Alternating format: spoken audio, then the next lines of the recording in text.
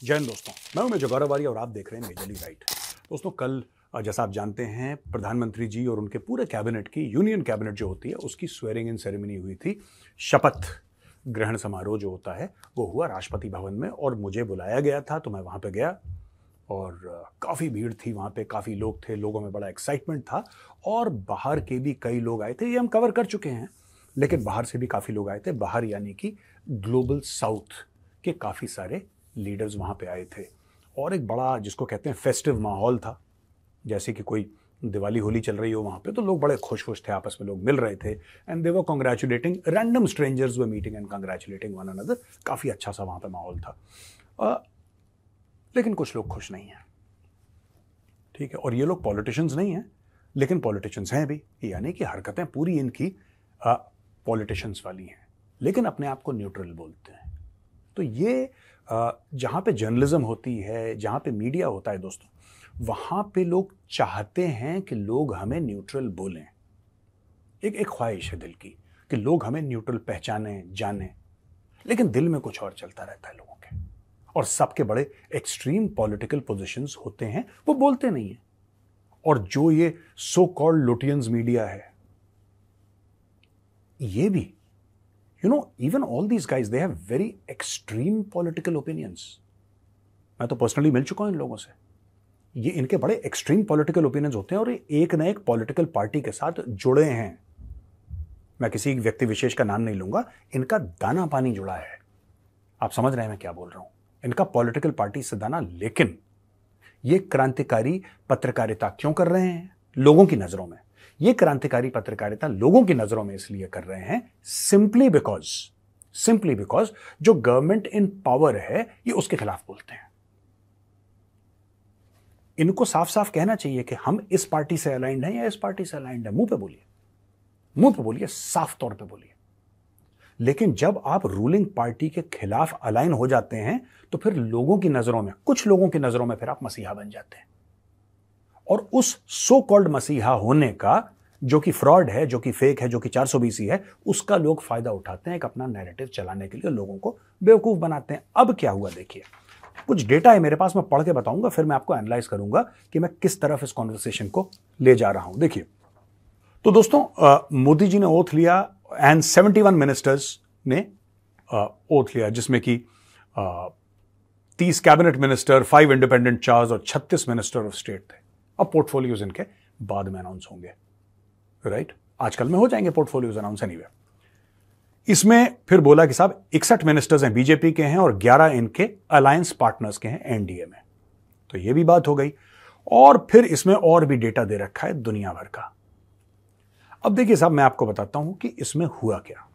उसमें हुआ यह कि आरजे सैमा आरजे सैमा ये रेडियो जॉकी हैं और इनको अपनी बात रखने का हक है, लेकिन कुछ लोग इतने ज़्यादा बिटर हो जाते हैं।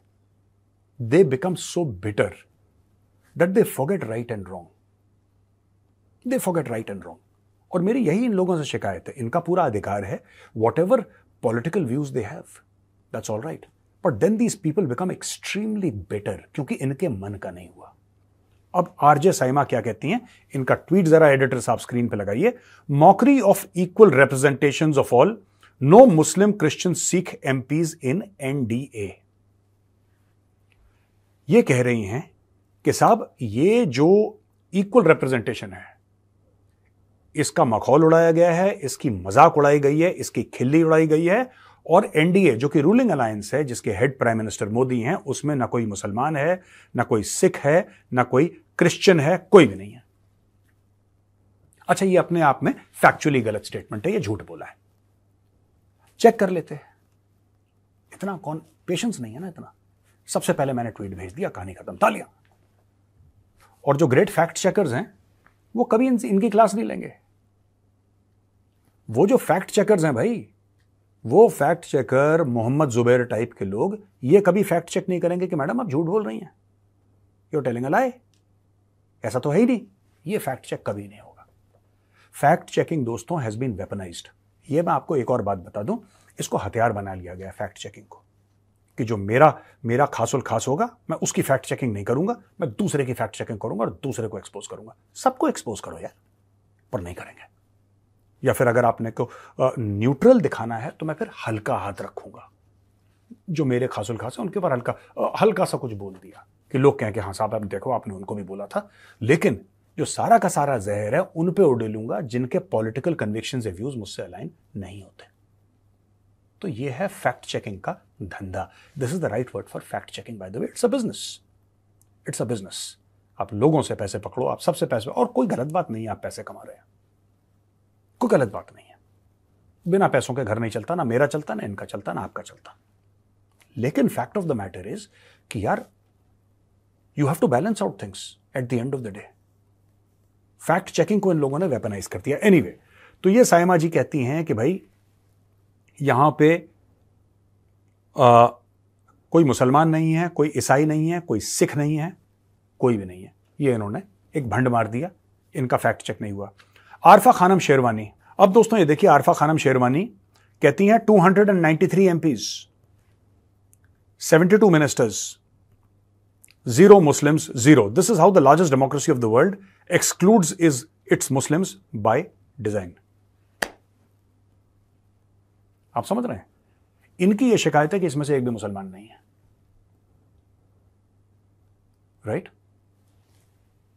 अब बात यह है कि आरफा खानम शेरवानी वही हैं जो Satyapal Malik ji former governor J K थे, उनके साथ बैठ के इंटरव्यू करा, जिसमें सत्यपाल मलिक ने बोला था कि मोदी बनेगा नहीं अगली बार। मोदी बनेगा ही नहीं अगली बार। और कल शपथ हो गई, सब लोगों ने देखा, मैंने तो आमने सामने देखा। अब मैं इनको जरा एक्सपोज करता हूँ, ये जो बात कहते हैं। पहली बात, आरजे साइमा ने क्या बोला? ये फैक्चुअली इनकरेक्ट चीज़ है।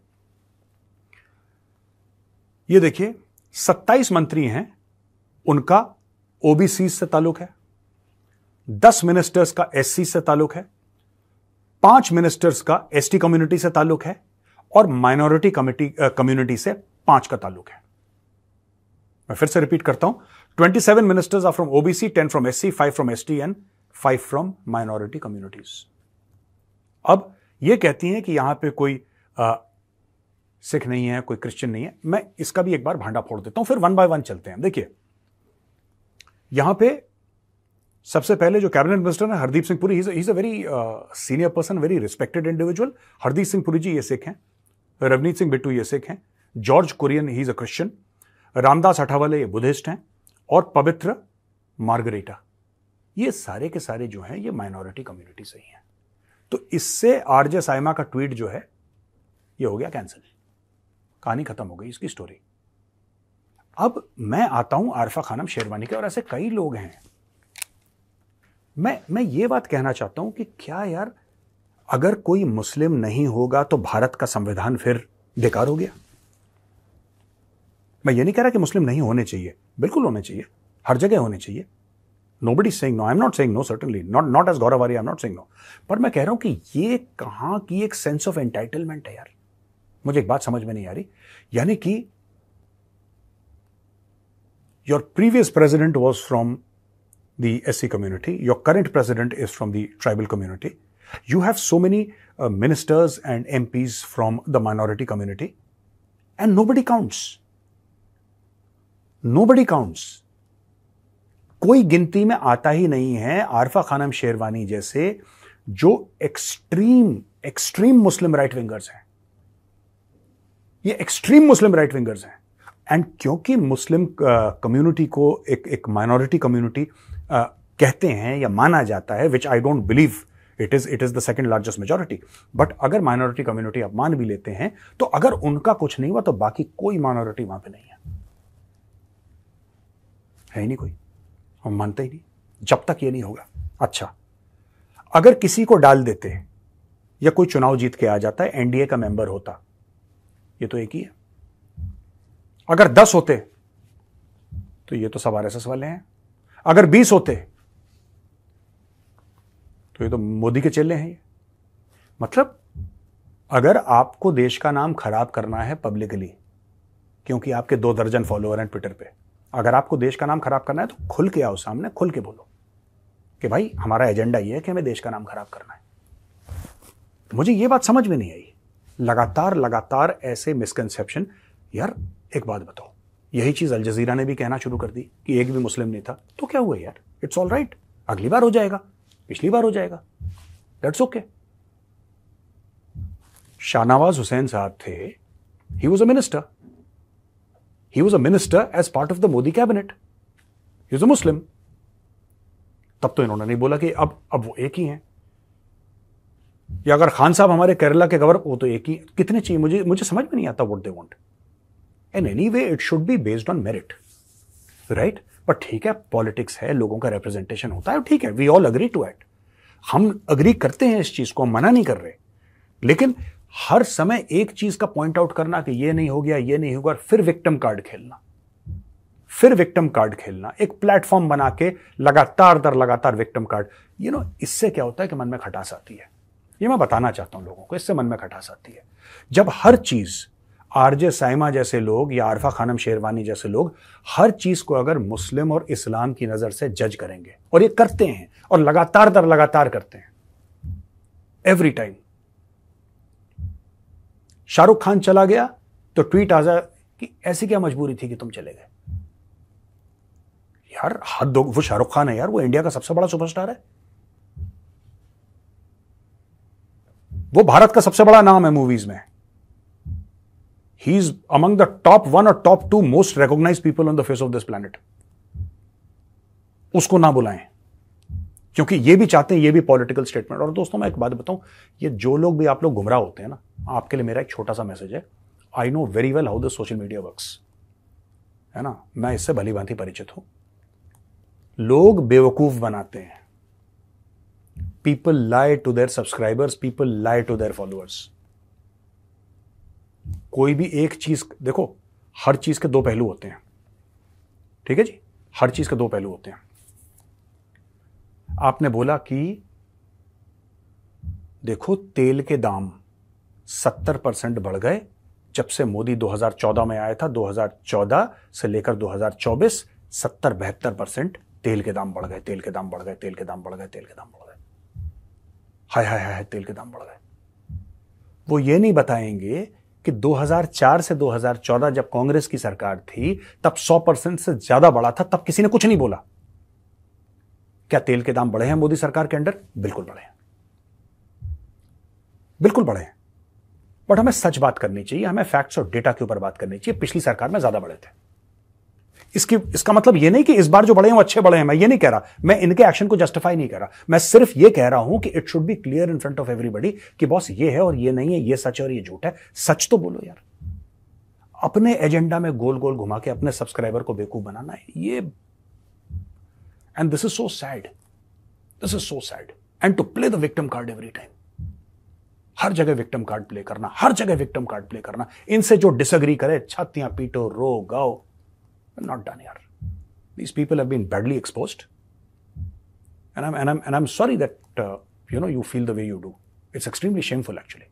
मैं तो इन दोनों लेडीज़ से एक ही बात कहूँगा एक काम करते हैं ठीक है आपको खुश करने के लिए असदुद्दीन ओवैसी को बना देते हैं प्रधानमंत्री देश का ठीक है और उनके भाई को जिनको पंद्रह मिनट का बहुत शौक है उनको बना देते हैं गृह मंत्री चाहे पंद्रह ही मिनट के लिए बनाए, क्योंकि उनको पंद्रह मिनट में बहुत कुछ करने का शौक है। और मैं गौरव आर्या, मैं बन जाता हूँ गुलाम अली। ठीक है, major Gaurav Arya becomes major Ghulam Ali. Then I hope you will be happy